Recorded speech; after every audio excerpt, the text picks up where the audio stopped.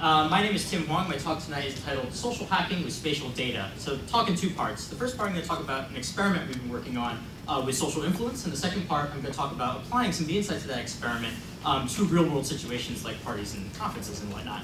Uh, so first, the experiment. Uh, social wargaming is a concept we've been playing around with recently. It's pretty simple. Uh, what we do is we identify a target battlefield of users online. Um, this could be a group of friends, a group of acquaintances, indeed people not even connected to one another. Uh, and then teams, uh, the blue circles in this diagram, compete to make them behave socially in certain ways without them even knowing that a game is going on. Um, so Triangle is one of our first games, there's a couple variants, um, involves teams competing to try to draw connections um, and are awarded points for creating connections interlocked between a particular social network. We also play a game of mimetic golf where people come up with content and are awarded points based on how much it spreads within a particular cluster. Now, uh, so this is this is a project that we've been working on uh, recently, and uh, the best part is actually it's not hypothetical. It's actually a real project with real living people that don't know that a game is going on. So this is actually 103 people on Twitter and the connections between them. Obviously, the names have been replaced to protect the innocent. Uh, the teams in the game of hosts know who they are. Um, and what we found is that teams are implementing a remarkably sophisticated range of tools to figure out what makes users tick and what they can push on in order to make communities behave in certain ways. So this is large-scale data mining, statistical analysis, uh, natural language processing, and the word probably comes, comes to mind is terrifying. Um, but I'd like to take a moment in this talk to push back on that gut reaction, because if you think about it, uh, everyday experience is filled with social war games exactly analogous uh, to this very situation that I've just described.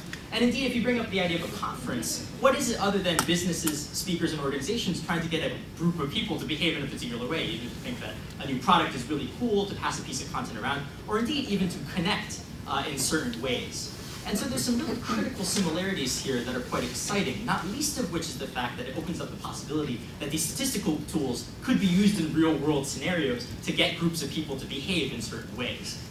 And obviously, uh, I would be remiss to mention that there's a number of differences, of course. The main difference, of course, is that it's spatial. It happens in the real world. So that a lot of the influence happens on a face-to-face -face basis, not like in uh, social wargaming where we can contact everybody at once, for example.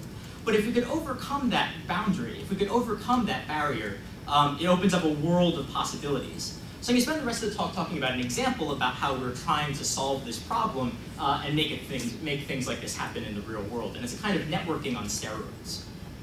So imagine, if you will, three months before a conference, we begin gathering all the information about every single attendee going to a conference and the connections between them made uh, online. Um, in the case of by South by Southwest, we can pull down public information, quote, I'm going to South by Southwest. Or in the case of Barcamp, it's trivial because we can pull down all that information uh, from Wikipedia. Now on top of that, we lay information about who's influential in these networks and indeed how they're influential, what kinds of behavior they're able to generate in their audiences. So this is something that we generated with the top 10 kind of users on Twitter and whether or not people repeat their content or respond to their content. And then on top of that, tippy top, we put another layer, analyzing what people are interested in, what topics set them off and cause them to talk the most. Uh, and once we've done all this information, gathered all this data, we've done the homework. And once you finally get to the conference, the spatial nature of this situation puts all the data into motion, which means that different people are talking to different, in different places at different times which means that if we know who's in a room and we've done our homework, we can figure out not only who's the most influential in a room, but also what that room of people will find most interesting. Obviously, given that we know someone is in a room is the difficult part, but obviously people reveal that information all the time, particularly at conferences. You may be twittering right now, for example, about the fact that you're right here listening to me in this particular situation. So if you take all this data and you imagine looking down on the conference, what you would see is a shifting landscape of not only influence, but the kinds of topics that are most likely to get picked up by the people in that room.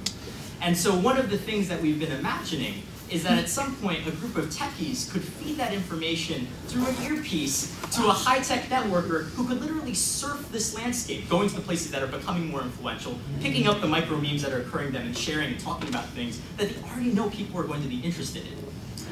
Now the problem here, obviously, is that this is uh, hypothetical for now. One of the things we're planning to do is to go to a as yet unnamed technology conference in Boston in the coming few months and actually implement this in practice. Um, and trying to get a certain thing to get uh, spread. So uh, if something becomes quite popular, you may ask yourself whether or not that's emergent or the function of something from social wargaming. My name is Tim Hwang. This is my obligatory contact information. Thank you very, very much.